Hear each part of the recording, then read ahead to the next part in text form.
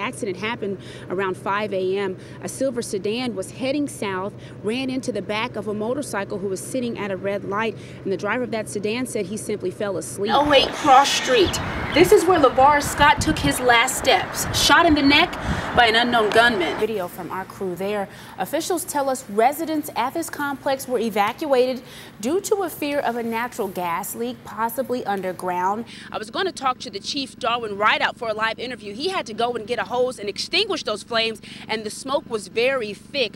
So daylight will help us to see the scene a little bit better. Now, like I said, it's about eight hours old, but you can still see smoldering in multiple spots. Almost 30 years of existence gone in minutes. The South Hopkins Volunteer Fire Department could only watch as more than a million dollars of damage burned to the ground. When one hurts, they all hurt, you know, because it's a big loss. And but uh, with everybody's help, we'll, we'll, make, we'll make it. In 1985, Chief Darwin Rideout's father, Paul, helped build this station. Because back then, nearby stations in places like Morton's Gap and Nortonville didn't leave the city limits. So that left roughly 40 square miles uncovered. My dad was, he was the chairman of the board for this department for 26 years, and everybody knew him as Big Daddy. And they said, we want that put on the truck. Now here's what's left of Big Daddy's engine.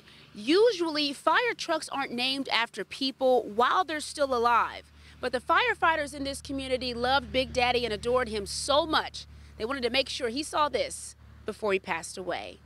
It, was named Big Daddy and on there, and he got to see it all before he passed away. So it's uh, it's bittersweet, you know, to, to lose that. Big Daddy and so much of his hard work is now rubble.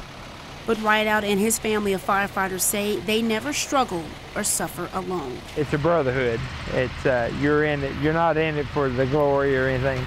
You're in it to help your fellow man, and we all come together. If we need help, we're there. It doesn't matter what department we're on. The building can be rebuilt, trucks can be replaced, but someone gets uh, hurt or killed, you know, I hope I never have to do that charred helmets, and burnt wood. They lay here now, but not burnt spirits. Rideout says there will be another South Hopkins fire station. Now the rebuilding begins. In Hopkins County, Tabnie Dozier, Eyewitness News. You named a truck after him. Unfortunately, that was one of the ones that was inside, huh? That's correct. In 2009, we got a FEMA grant to, to purchase that tanker. It was a 3,000 gallon tanker, and and it wasn't my idea, it was the, the guys on the department, and they said, we want to do something to honor him. And they said, we want to name that truck Big Daddy. And that's what it was.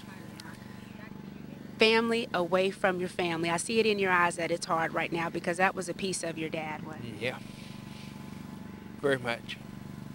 Looking at it now, it hurts even more. Yeah, the daylight hurts you more. Thanks for joining us today. Good to see you. This is Eyewitness News at noon on Local 7 WTVW. I'm Tabnie Dozier. We want to get right to the news at noon.